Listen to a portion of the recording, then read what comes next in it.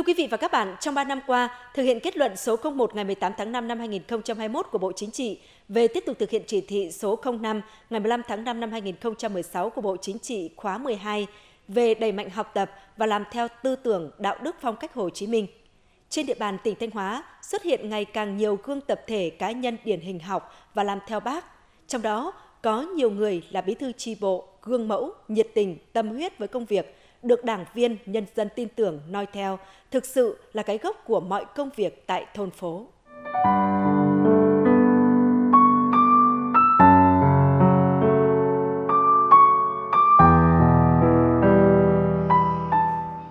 Đối với thôn Yên Trường, xã Đông Yên, huyện Đông Sơn, việc khó khăn nhất trong xây dựng nông thôn mới kiểu mẫu là phải huy động nguồn lực, vận động nhân dân hiến đất, mở rộng các tuyến đường.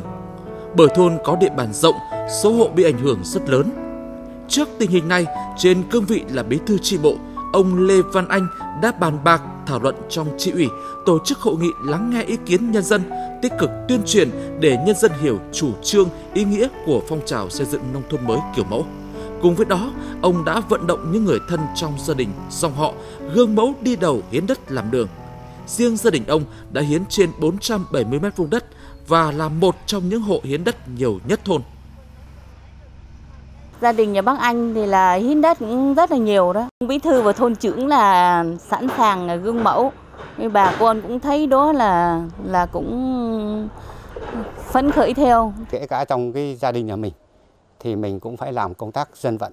Mình phải thứ nhất là vận động à, ra để vợ con à, và giải thích cho tuyên truyền cho thấy được cái mục đích yêu cầu của hiến đất này À, để mọi người đầu à, cùng nhau để một đồng thuận cao chứ không phải một mình mình là bí thư thì mình quyết đến loại thế kia là mình đấy thì cũng chưa đủ sức mạnh được. Đồng chí Lê Văn Anh là bí thư chi bộ thôn Liên Trường.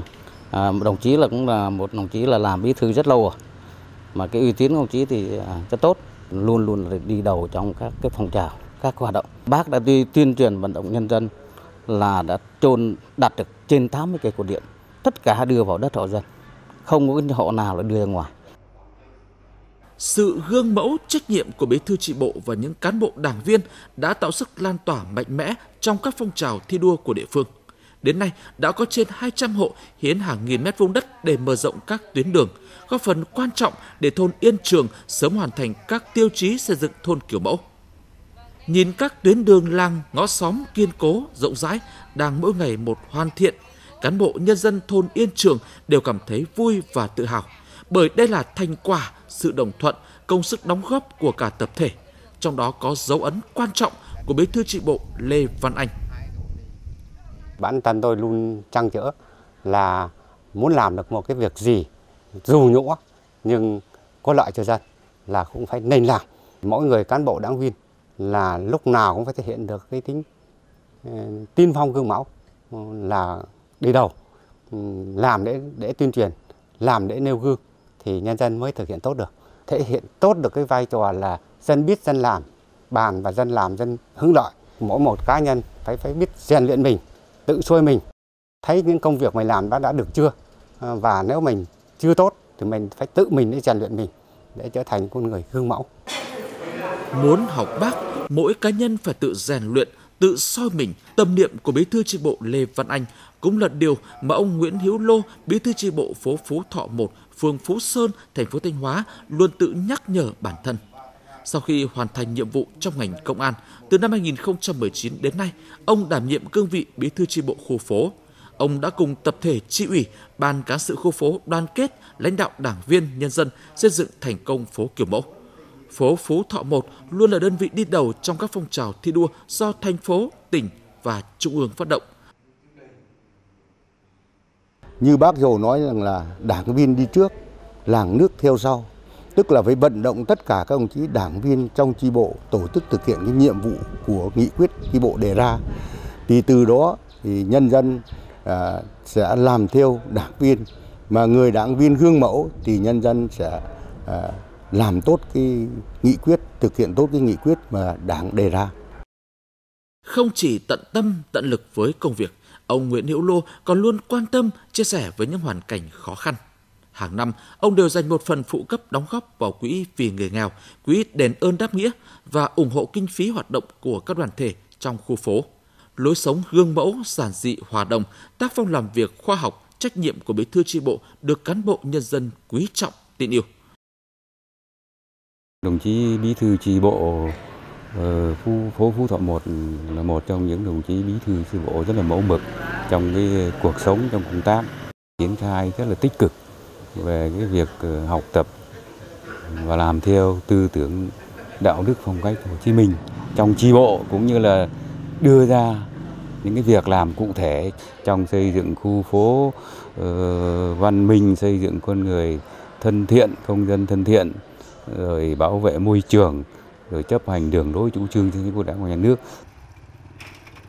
Bên cạnh những tấm gương bí thư tri bộ cao tuổi có nhiều kinh nghiệm trong công tác như ông Lê Văn Anh, ông Nguyễn Hữu Lô, trên địa bàn tỉnh Thanh Hóa còn có nhiều bí thư tri bộ trẻ sẵn sàng hy sinh lợi ích cá nhân, cống hiến hết mình vì sự phát triển của thôn phố. Tiêu biểu là anh Cao Duy Tuấn, bí thư tri bộ trưởng phố Bắc Nam, phường Trường Sơn, thành phố Sầm Sơn.